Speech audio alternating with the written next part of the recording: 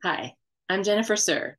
Welcome to the Sewing Room and our Jobs in Fashion series. Today we're speaking with Chelsea Willingham, who is going to tell us all about the job of product developer.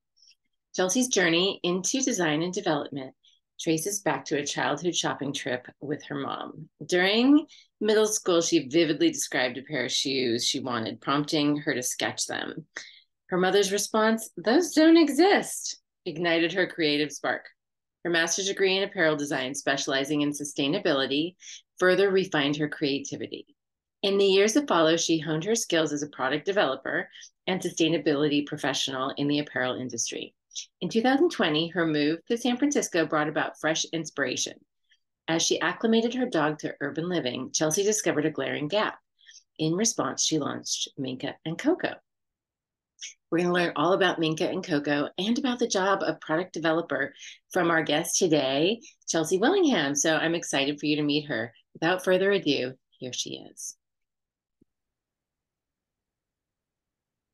Hi, Chelsea. Welcome to the sewing room. Hi, thank you. Nice to be here. I'm excited to hear about your job of product developer. Can you um, tell us a little bit about your background and how you became a product developer? Yeah, it's it goes way back. Um, it started as a little girl. I my mom was always sewing, and I was always watching her and involved. And she would have me, you know, pin her patterns and cut them out for her. And um, about middle school age, we were going back to school shopping, and my mom was asking me, "Okay, what is you know, what kind of clothing do you want uh, to start the school year? And I started describing these things to her. And she's like, honey, I don't know what you're talking about. She said, can you, you know, draw me a picture and show me what you're thinking of? So I drew her a picture and she was like, yeah, I've never seen that. Those don't exist. So it was kind of my destiny to develop products um, that didn't exist. And that's, yeah, that's just something that I've always enjoyed. And it was very clear from a young age that that was kind of the path I was going to take. Um, what kind of um, education did you have? So I went and got a degree in apparel design, um, an undergraduate degree. And then I also, after that, got an apparel design master's degree with a focus in sustainability. And what kind of what kind of jobs were your first kind of jobs that you had? I started out doing um, like apparel design and some product development. Um, you know, smaller companies, it's kind of meshed in together. So my first job, you know, I was able to kind of do both. Cool. Um, what exactly does it mean to be a product developer? Yeah, it means you're taking a concept and turning it into a physical product. So normally, you know, you work very closely with designers and they're kind of the ones that come up with that initial concept. And the product developers are the ones that take the idea and um, go through the process of creating the product and bringing it to customers. So, what does that process look like? It looks like, um, as I mentioned, the designer, they typically will bring you a sketch and then a product developer will turn that into what we call a tech pack. And a tech pack is essentially everything you need to know to make a garment. So that tech pack goes to our factories and the product developer will work with the factories back and forth. We get samples, we review the samples, and then, you know, sometimes three, four, five samples later, we have a product that we can uh, take and sell. Cool. So um, it sounds very similar to a technical designer, but maybe there's more. Is there more production involved in that? Are you a stronger part of the production process? Yes, for sure. I also have um, some experience as a technical designer, and I would say that, you know, once the design is initially created, the technical designer and the product developer are really the ones that are working the closest together. Um, the technical designer is going to work more on specs and fit, and then the product developer will focus more on the construction and um, the design details. Cool. Um, what kind of products do you focus on? Right now I'm working for mostly outdoor brands. So it's it's kind of, you know, lifestyle apparel and outdoor wear. I do um, tops and bottoms and some footwear as well. Very cool. Um, let's see what, what were my other questions um, oh i wanted to ask you what are the most important skills that someone needs um, to do this kind of job yeah i would say the most important skill is understanding construction. So coming from a sewing background is extremely beneficial. You have to be able to understand how to put a garment together yourself and pattern making as well is really helpful.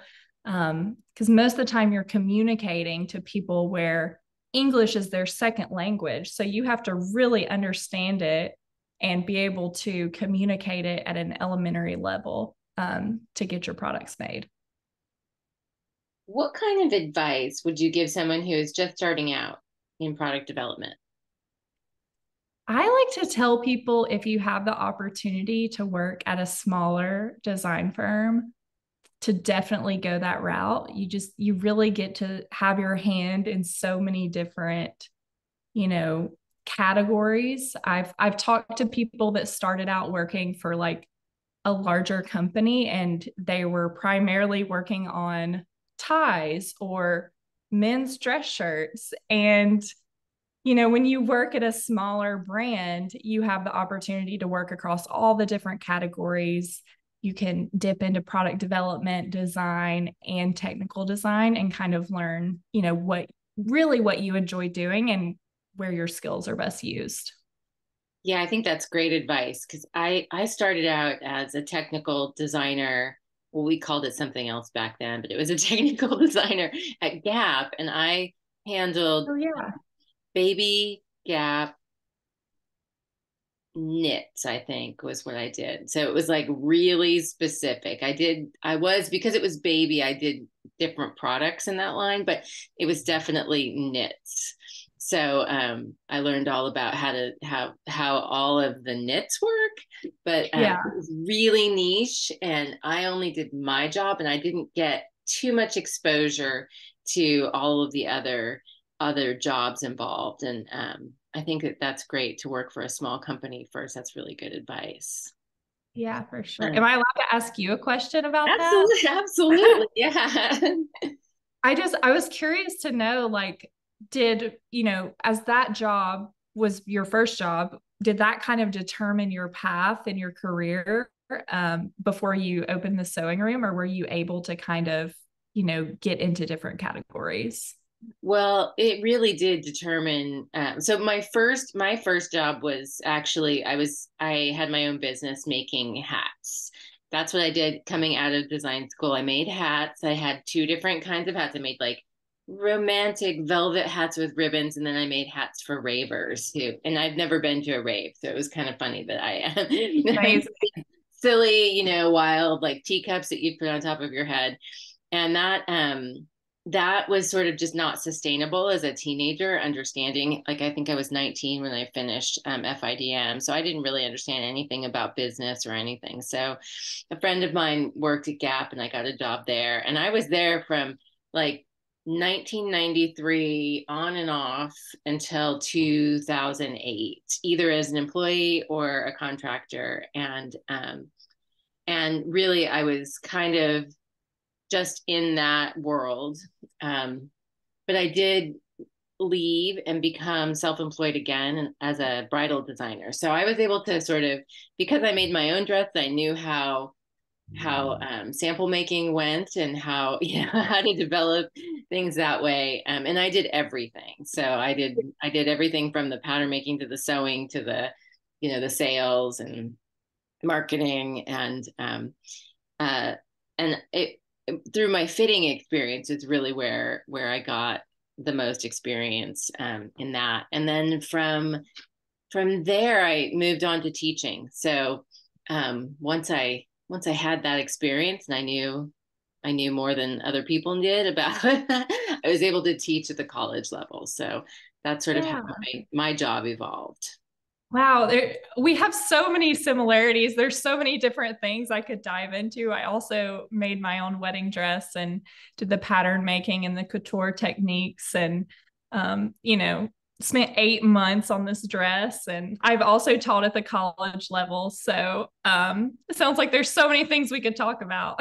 Absolutely. And I I decided that I like the path of of teaching better than like trying to develop um, develop products so that for me the education was was what where i excelled at and it sounds like you're you really enjoy um, like developing the products so that's really awesome yeah i was curious how your you know path kind of evolved from starting out in knitwear because i've kind of learned once you find your niche and you have that initial job you know as long as you're working for someone else that kind of determines your path and you kind of like I never would have thought I would be working in outdoor apparel. Like that is not that is not my aesthetic. That is not, you know, what I normally wear.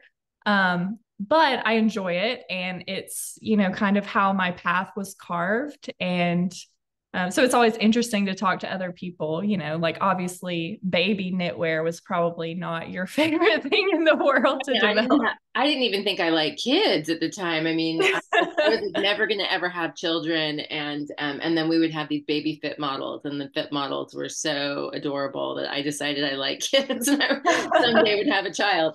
Um, but from baby gap, I think I went to women's knits and then from women's knits, I ended up doing, um, I helped launch um, Gap Body and I did um, women's loungewear and then I oversaw the um, men's and women's loungewear and went to all of those fittings. But it was like sleepwear and um, underwear, you know, so not like like I don't lounge around the house all the time. It's not something that I yeah. would necessarily, and I wasn't designing any of it. I was just doing the technical design for it, but I understood yeah. how it all went together. That's amazing. I my my favorite underwear is actually from Gap Bodies.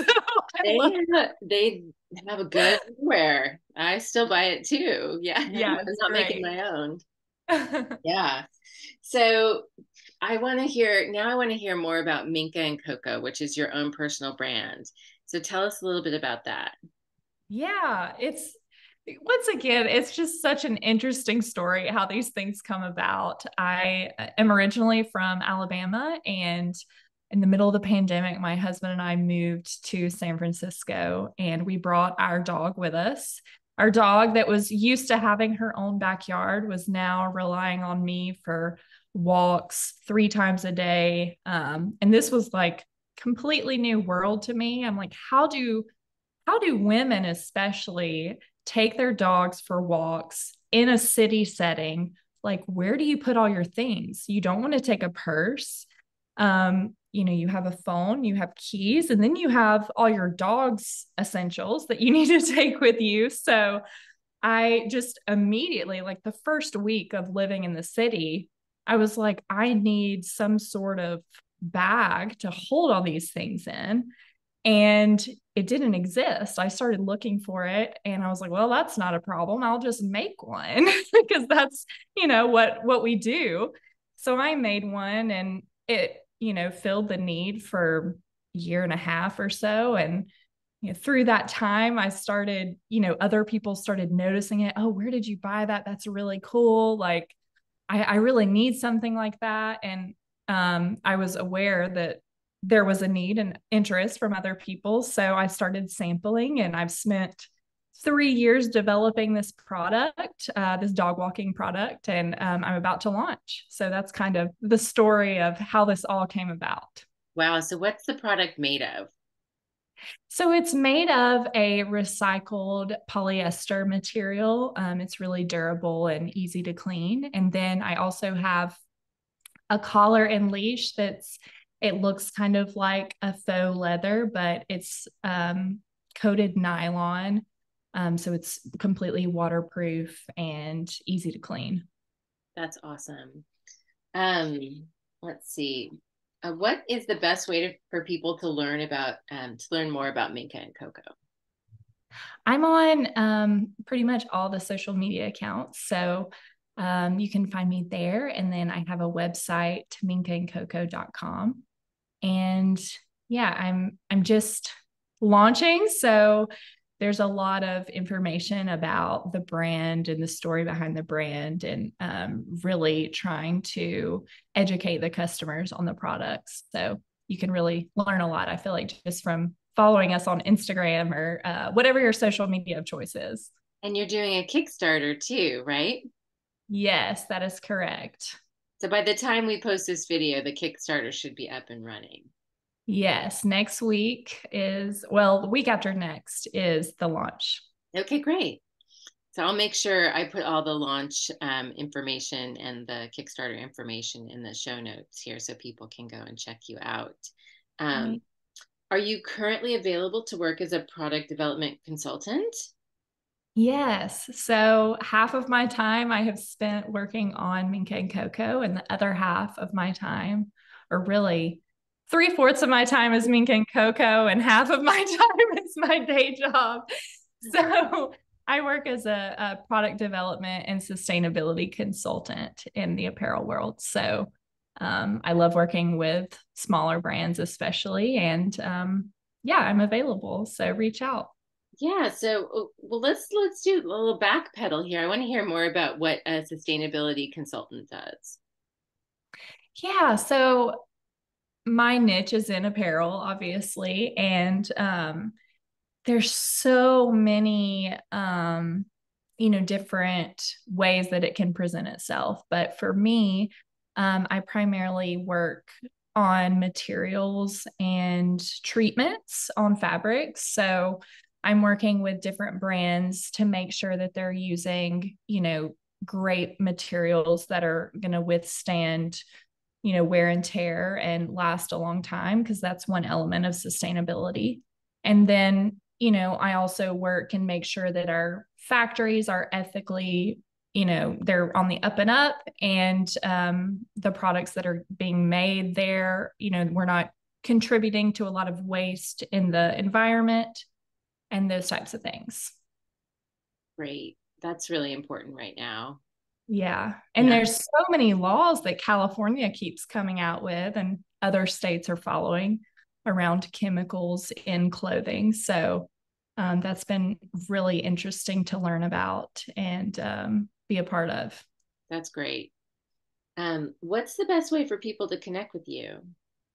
You can find me on LinkedIn or I have a website as well um, for my consulting business. So um, that's chelsearay.us. And I'm sure that you'll also share that link with people if they're interested in working together.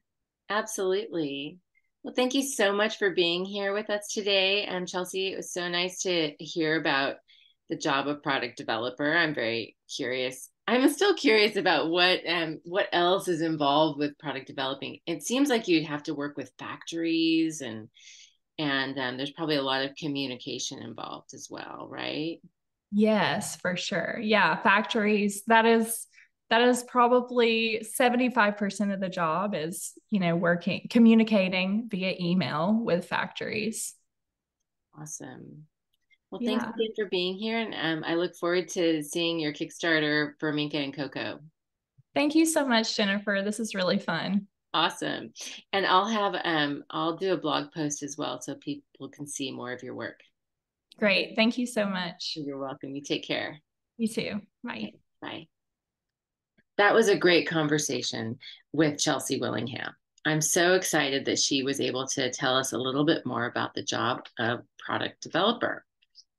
Some key points that she made um, when um, talking about the job where the product developers are people who work with the pattern maker, the technical designer, and the factory to create the vision that the designer has in mind um, the for the product that they're trying to produce.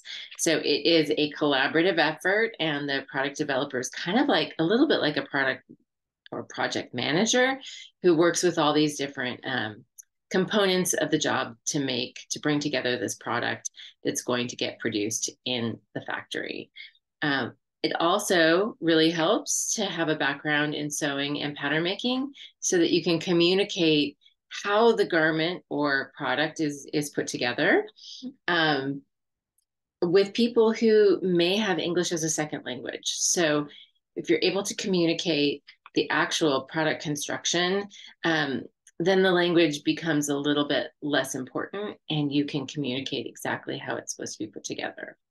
And finally, um, for people just starting out in this career, she suggests that you work at a small company so you can um, learn and get more exposure to different parts in, of the business as well as the different categories involved. So, um, like we were talking about, um, in many companies, you have tops and bottoms. Um, you may have um, different types of clothing. You may have like um, in swimwear, for instance, you may just have different brands that you work with when you're producing these things. So it's really important to get an overview of what um, what a small how a small company works, and then you can kind of dip your toes into different parts of the business as well. So um, I think that um, is a very good piece of advice. Uh, working for a big company, you're you basically work on a lot of product that's very similar in and you don't get to put your toes in the other parts of the business very often. Um, i think that was very helpful um, advice and i look forward to um, seeing how minka and coco come together with her kickstarter which i will link all of that information down in the show notes. In the meantime, if you're interested in our fashion studies program, please visit our website at the sewing room alameda.com backslash fashion hyphen studies. And please give us a thumbs up and subscribe. It really helps us out.